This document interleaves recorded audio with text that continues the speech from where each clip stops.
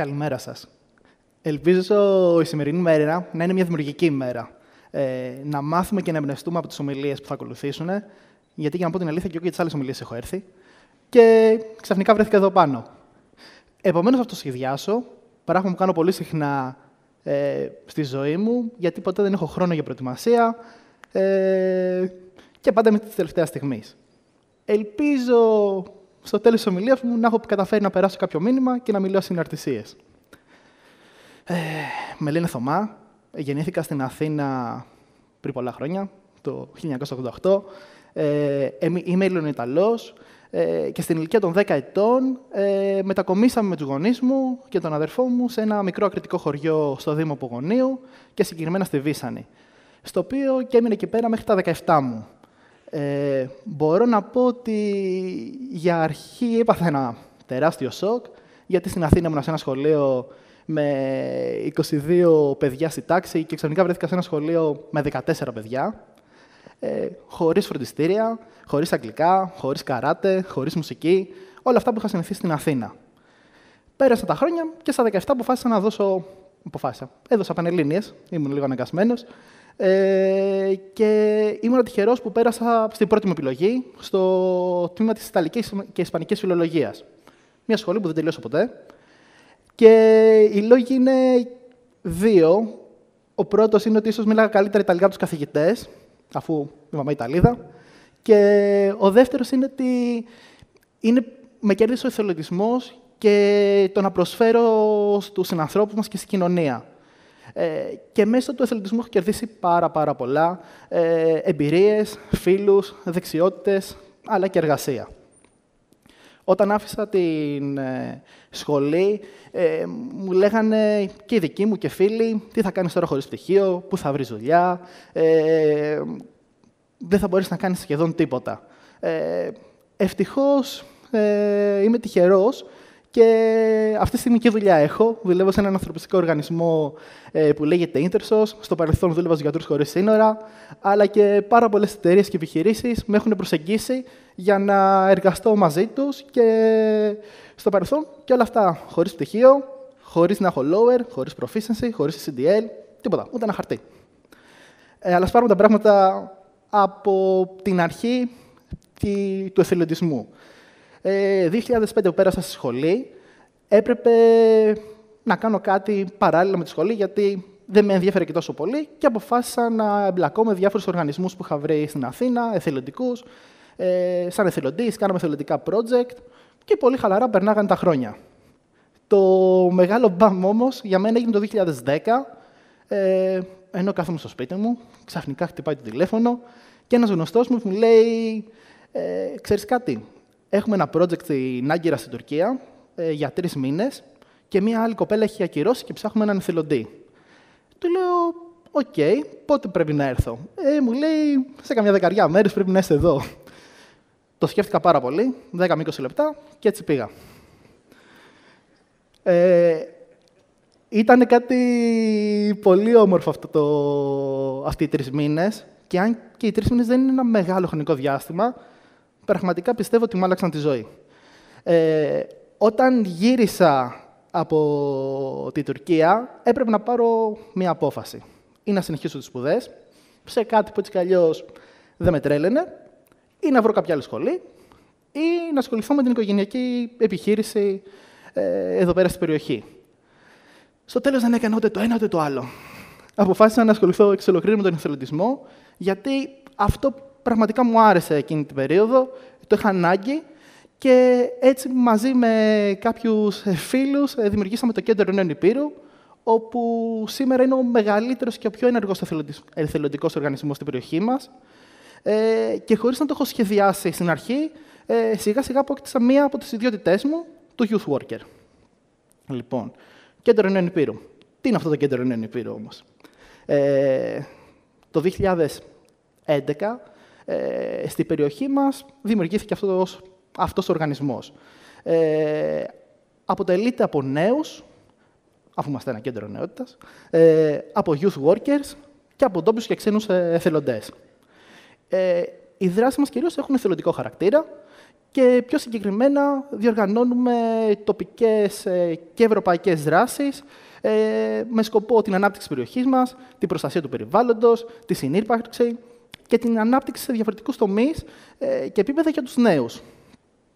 Ε, όπως μου αρέσει να το αποκαλώ μερικές φορές, ουσιαστικά είναι ένας χώρος ελεύθερος έκφρασης ιδεών, προβληματισμών, απόψεων και έχουμε τρία-τέσσερα πιο δυνατά σημεία δραστηριοτήτων, που από εκεί πέρα υπάρχουν πάρα πολλές υποκατηγορίες.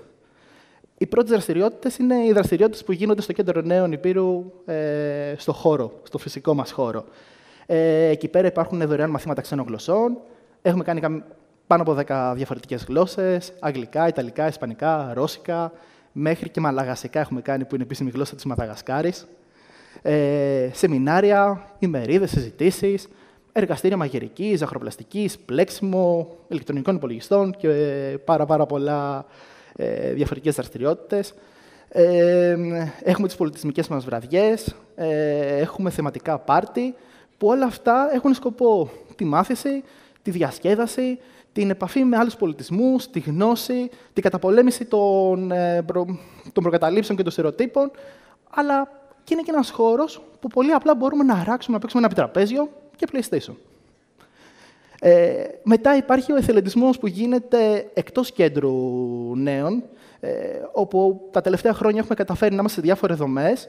Ε, εδώ και τρία χρόνια είμαστε σε κάποιες προσφυγικές δομές που είμαστε εκεί πέρα σχεδόν κάθε μέρα και προσπαθούμε να βελτιώσουμε τις συνθήκες διαβίωσης των ανθρώπων που μένουν εδώ πέρα. Ε, αλλά και στο παρελθόν έχουμε κάνει πάρα πολλές δραστηριότητες στα κέντρα προστασίας του παιδιού, σε συλλόγους στα ΜΕΑ κτλ. κτλ, κτλ. Ένα μεγάλο κομμάτι μας, ε, που πιστεύω ότι είμαστε και πάρα πολύ γνωστοί στην περιοχή γι' αυτό, είναι οι ανταλλαγές νέων, τα training course, η Ευρωπαϊκή Εθελοντική Υπηρεσία, ε, όπου είναι προγράμματα μέσω του Erasmus Plus και υπάρχουν πάρα πολλές θεματικές που μπορεί κάποιος να επιλέξει και να λάβει μέρος. Ε, υπάρχει θέματα όπως η μη τυπική μάθηση, το περιβάλλον, ο εθελοντισμός, η τέχνη και ο πολιτισμός και πάρα πολλά. Και τέταρτο, υπάρχουν ε, οι δράσεις που κάνουμε, ας πούμε, οι μεγάλες δράσεις μας ε, κατά τη διάρκεια της χρονιάς, που είναι και αυτές με διαφορετικά θέματα. Είναι όπως το Let's Do It, Grace και Word, όπου μέσα σε μια μέρα προσπαθούμε να καθαρίσουμε ε, τη χώρα μας και τον πλανήτη μας. Ε, υπάρχει η δραστηριότητα για να προωθήσουμε τη χαρά, την ισότητα, την ενεργή συμμετοχή, όπως είναι το Bubble Parade, η παρέλαση Απουνόφουσκας. Και το καινούργιο μας απόκτημα που κάναμε, το Color Boom Fest, το πάρτι με τα χρώματα. Αυτές είναι κάποιες από τις δράσεις που γίνονται και στο κέντρο νέων και ο λόγος που κάνουμε τόσο πολλά διαφορετικά πράγματα είναι γιατί η ομάδα μας, ε, γιατί υπάρχει μια πολύ μεγάλη ομάδα ανθρώπων. Ε, είναι η Ντόρα, είναι ο Άγγελος, είναι η Μαρία, είναι ο Γιάννης, είναι ο Στέλιος, είναι ο Θοδωρής και πάρα πάρα πολλοί. Ε, έχουν διαφορετικές ανάγκες, ενδιαφέροντα και ανησυχίες. Και γι' αυτό μπορούμε να κάνουμε πολλά πράγματα ταυτόχρονα μέχρι τώρα, σας έχω πει μερικές φορές τη λέξη youth worker. Τι είναι αυτό το youth worker; Ε, τι είναι λοιπόν ένας youth worker; Στα ελληνικά η μετάφραση είναι σύμβουλος νέων. Ε, και ο σύμβουλος νέων ουσιαστικά εργάζεται με και για τους νέους με σκοπό να βοηθήσει την ε, προσωπική, την κοινωνική και την εκπαιδευτική τους ανάπτυξη για να ενταχθούν πιο εύκολα και πιο μαλά στην κοινωνία. Ο Σύμβουλος Νέων σχεδιάζει και υλοποιεί εκπαιδευτικά προγράμματα, ε, ώστε έχουν σκοπό να υποστηρίξουν και να εμπλουτίσουν την προσωπική ανάπτυξη των νέων. Και κυρίως μέσω της εθελοντικής του συμμετοχής σε αυτά τα προγράμματα. Και τι χρειάζεται κάποιος για να γίνει youth worker ή σύμβουλος νέων εδώ πέρα στην Ελλάδα; Υπάρχει πανεπιστήμιο, ε, υπάρχουν σπουδέ, να σας πω ότι για αρχή στην Ελλάδα ε, το επάγγελμα του youth worker δεν είναι επίσημα αναγνωρισμένο. Επομένως, αυτό σημαίνει ότι δεν υπάρχουν σπουδές ε, και όλοι είμαστε σύμβολοι νέων, ουσιαστικά έχουμε εκπαιδευτεί μέσω σεμιναρίων στο εξωτερικό ή κάποιοι από εμάς έχουν κάποιο κοντινό επίπεδο σπουδών που το έχουν, κάνει, το έχουν εξελίξει στο κομμάτι της νεολαίας. Ελπίζω κάποια στιγμή στην Ελλάδα να υπάρξει πανεπιστήμιο, να υπάρξουν σπουδές, να υπάρξουν καλύτεροι σύμβολοι νέοι από εμάς και να κάνουν περισσότερα πράγματα γιατί το έχουμε πραγματικά ανάγκη και στο εξωτερικό υπάρχει εδώ και πάρα πολλά, πολλά χρόνια. Μέχρι τώρα σας έχω πει δύο-τρία πραγματάκια. Μπράβο μου, είμαι τρομερός, κάτι, είπα κάτι καινούριο που ίσως δεν ξέρατε.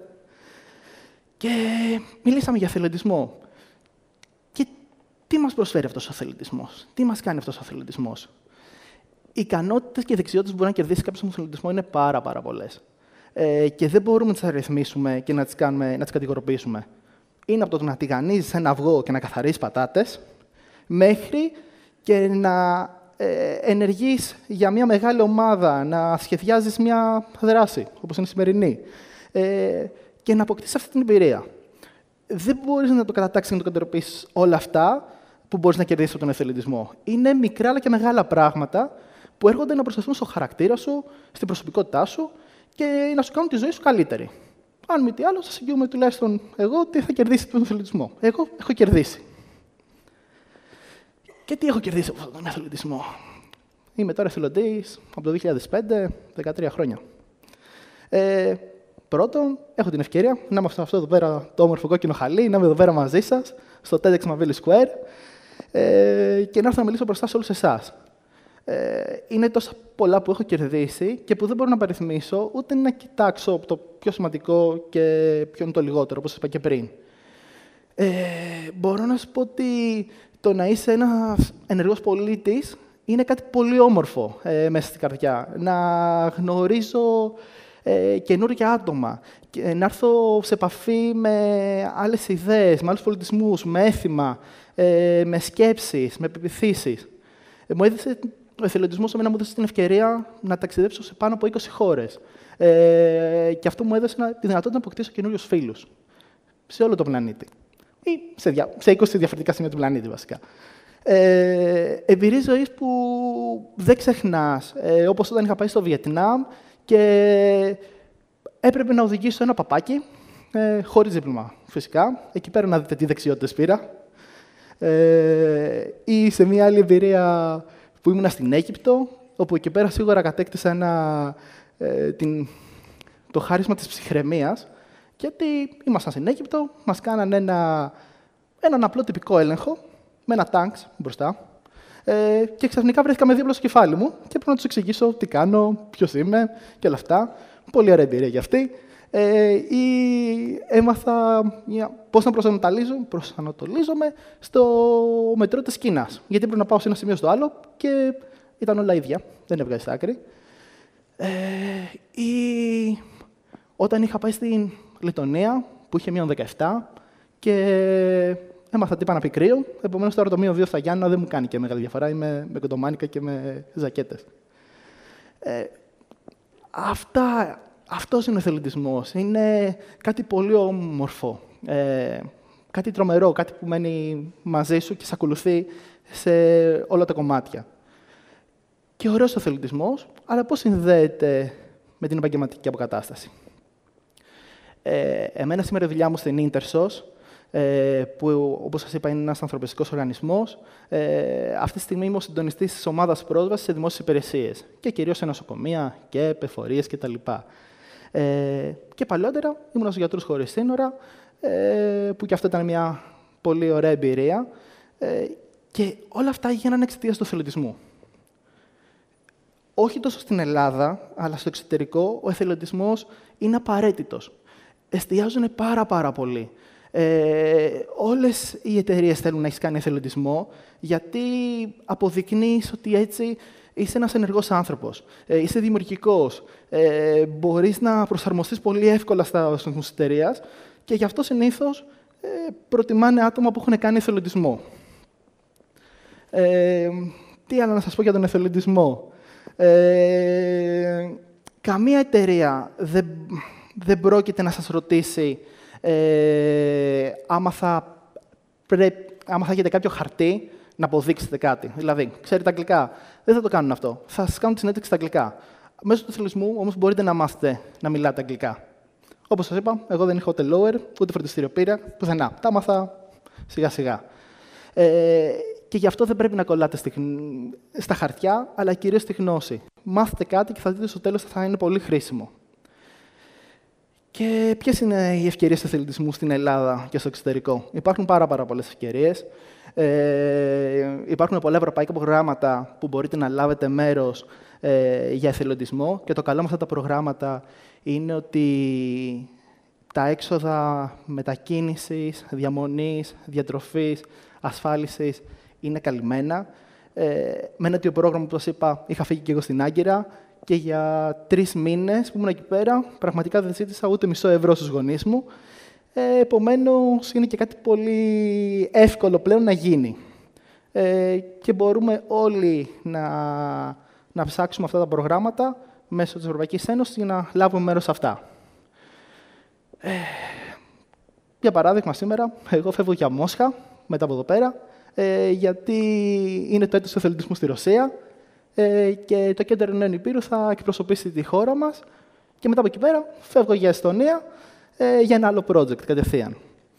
Και εκτός από αυτά τα ευρωπαϊκά προγράμματα, υπάρχουν και πάρα πολλοί οργανισμοί στην Ελλάδα, όπως είναι και το Κέντρο Νέων, όπου όχι μόνο θα σας δώσουν την ευκαιρία ε, να συμμετέχετε σε ένα πρόγραμμα εθελοντισμού, αλλά το πιο σημαντικό είναι να σας βοηθήσει να κάνετε το δικό σας έργο. Ε, γιατί εσείς ξέρετε τι πραγματικά θέλετε. Εσείς είστε νέοι και είναι η ηθική υποχρέωσή μας να σας βοηθήσουμε να υλοποιήσετε τις ιδέες και τις σκέψεις σας. Ελπίζω να κατάφερα να κάνω μια γρήγορη ξενάγηση στον κόσμο του εθελοντισμού, ε, να σας προβληματίσω, να σας έβαλα στη σκέψη και να κλείσω λέγοντας το πιο σημαντικό, ότι αυτό που πραγματικά αγαπάς ε, πρέπει να το κάνεις. Γιατί εγώ αγαπάω τον εθελοντισμό και την προσφορά. Και ναι, πολλές μέρες δουλεύω από τις 9 το πρωί μέχρι τις 12 το βράδυ, αλλά πάντα θα πάω στο τέλος για ύπνο χαρούμενος και θα ξυπνήσω πάντα δυνατός για την επόμενη μέρα. Ευχαριστώ για την προσοχή σας.